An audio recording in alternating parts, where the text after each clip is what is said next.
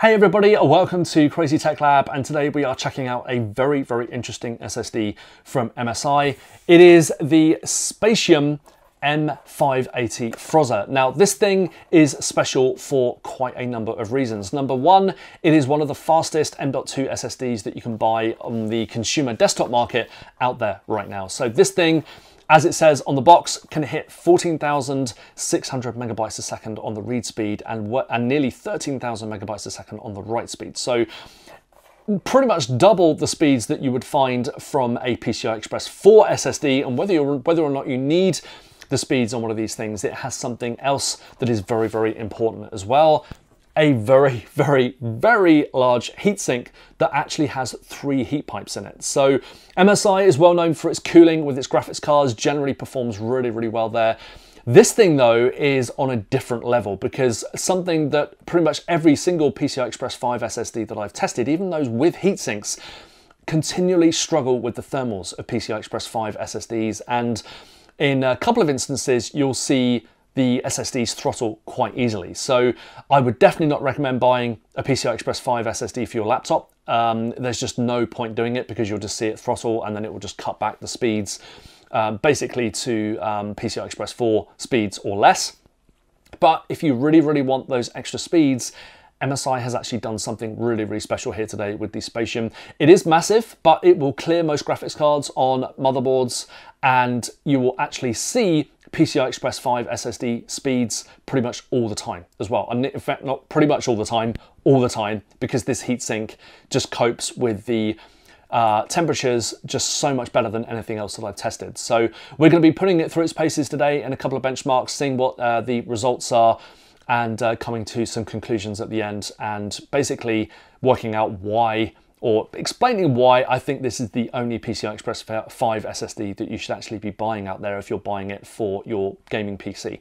So thanks to MSI for sending this thing over. You can find all the links about where to buy it in the description below, plus a whole load of other stuff. And you can even check out some of the great hardware that I've tested recently here on the channel in my Amazon shop, so you know you're buying tried and tested products. I'd like to thank MSI for sending this thing over today so we can test it and um, definitely one of the things that I would love if I had a no holds barred um, gaming PC, perhaps with an RTX 4090 in there and some really high end hardware, perhaps uh, an AMD uh, Ryzen 7000 7800X3D or a Intel Core i9 40, uh, 14900K or something like that. That's the kind of system that I would want this piece, this uh, this monster in.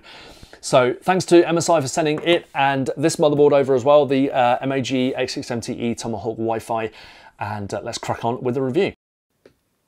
So we have the temperature results to look at first then, and this is probably the one that needs to be talked about the most because it is the most impressive for this SSD. So the MSI Spatium M580 Frozr, a peak temperature despite back-to-back benchmark runs lasting over 10 minutes of just 41 degrees C. Now that is likely around 40 degrees away from any throttling temperature. So you can imagine that even if you're in a pretty stuffy case with a lot less airflow um, than I was using, you're still not going to see this thing throttling. You might see another 10, 20 degrees added to that temperature, but even then it is still way cooler than any other PCI Express 5 SSD that I have tested.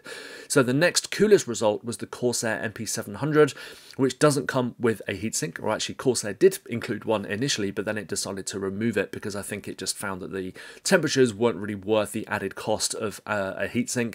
So you have to use your motherboard heatsink with that one or buy a third-party heatsink.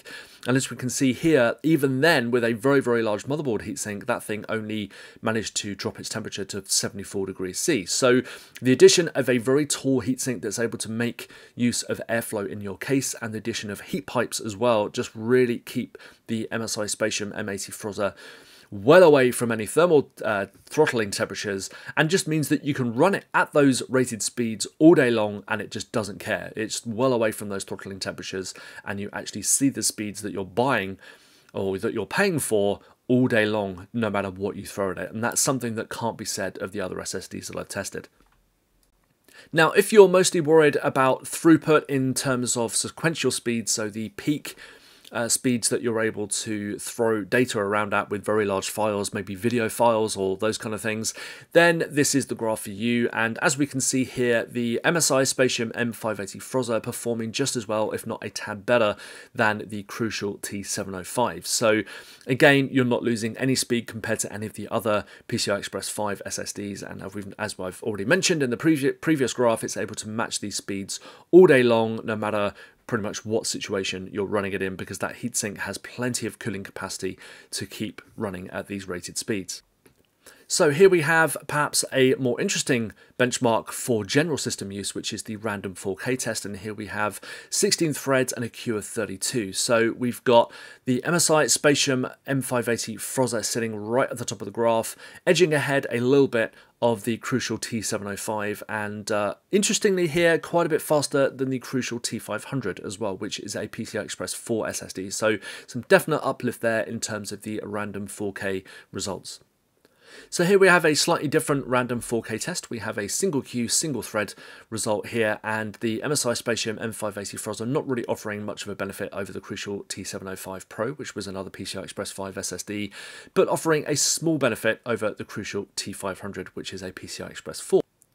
Moving on to the 3D Mark game storage and access time results now then, and uh, these are using real game files to simulate a real world experience where when you're basically loading game files, accessing those files, etc. So we have the MSI Spatium M580 Frozr performing pretty much the same as the Crucial T705 Pro, so not much difference between those two SSDs here.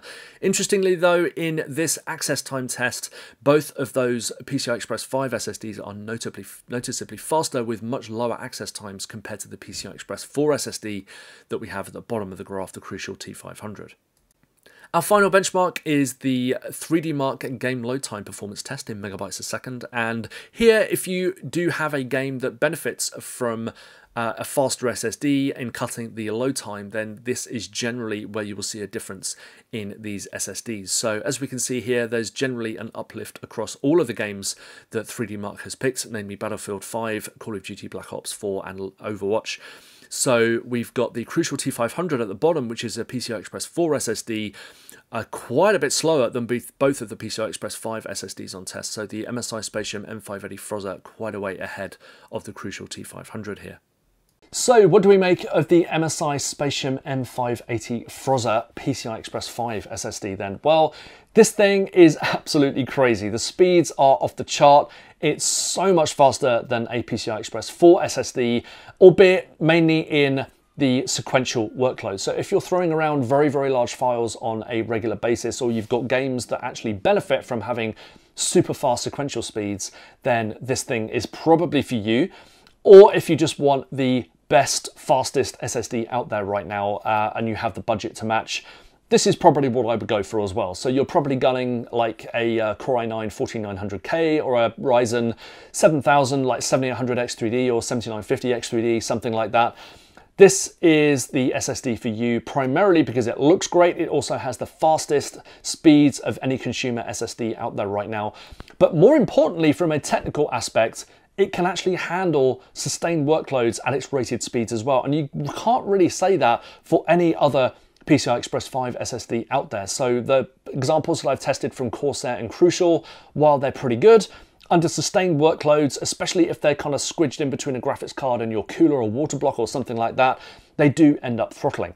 So that's kind of annoying because you're paying that extra premium and you will only see those sequential speeds for maybe 30 seconds to a minute before that thing starts throttling. Now, if you've just want the fastest SSD out there, you don't want to have to worry about throttling. That is where the Spatium M580 Frozr comes in because it can just handle them with its massive heatsink and three heat pipes. And thankfully it doesn't cost that much more than any of those SSDs either. So again, PCI Express 5 SSDs, they're not about value. They never were going to be. But if you must have the fastest PCI Express 5 SSD out there that can actually handle those sequential speeds for long periods thanks to its massive heatsink, then it is for you. So thanks to MSI for sending this thing over and I'll be back very, very, very, uh, very, very soon with lots more content. So don't forget to check out the links in the description below where you can buy this thing and a whole bunch of other cool stuff as well. And if you found it informative today, you can always send your thanks by buying me a coffee, sending me a donation on PayPal or various other means as well. So thanks for watching today and I'll be back very, very soon.